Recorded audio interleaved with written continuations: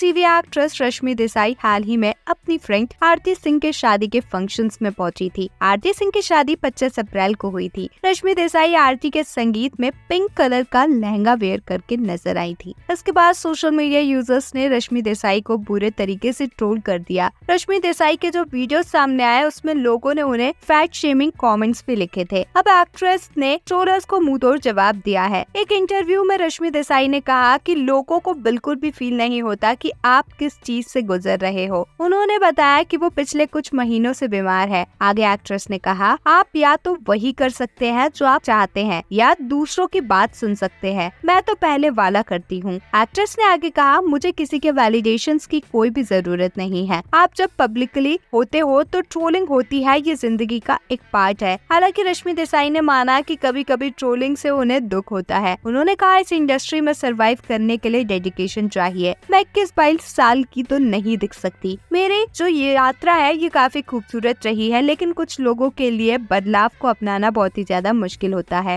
Actress ने आगे कहा कि मुझे अब इन सारी चीज़ों से कोई भी फ़र्क नहीं पड़ता, क्योंकि मैं गोल्डन स्पून के साथ पैदा नहीं हुई थी। मैंने जो भी सीखा है, अपने आप सीखा है। वहीं एक्ट्रेस ने आसपास की नेगेटिविटी को लेकर भी बातचीत की और कहा कि मुझे आसपास की नेगेटिविटी से अब नुकसान नहीं पहुँचता। और यही वजह है कि मैं बहुत ही ज़्यादा स्ट्रॉन्ग हूँ। आपका रश्मि देसाई की कही इन बातों पर क्या कुछ है कहना, हमें कमेंट्स में ज़रूर बताएँ। ऐसे ही अपडेट्स के लिए हमारे चैनल को सब्सक्राइब करें।